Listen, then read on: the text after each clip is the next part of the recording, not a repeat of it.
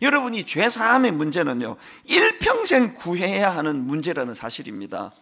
이 사도신경의 흐름을 다시 한번 보십시오 성령을 믿사오며 거룩한 공회와 그 다음에 성도가 서로 교통하는 것, 그 다음에 죄를 사하여 주시는 것과 그 다음에 몸이 다시 사는 것과 영원히 사는 것 믿사옵나이다. 자, 이거를 여러분 한번 가만히 분석해 보세요.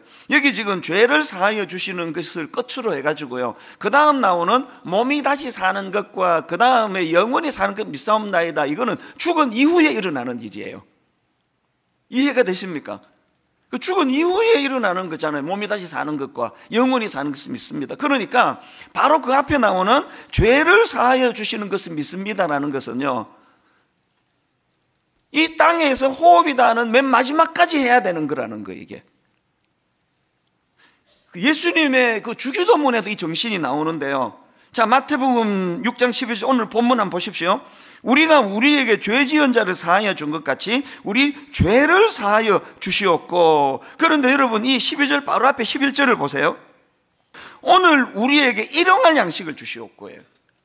오늘 우리에게 일용할 양식을 주시옵고가 나오고 우리 죄를 사하여 주시옵고가 연결되는 게 뭘 의미하겠습니까? 일용할 양식. 매일매일 해야 되는 기도예요. 오늘 밥 먹고 한 달 뒤에 먹는 사람 없잖아요 일용할 양식 매일매일 구해야 되는 기도예요. 매일매일 구해야 되는 일용할 양식을 구하는 기도 다음에 매일매일 구해야 되는 게 죄 용서함의 문제라는 겁니다.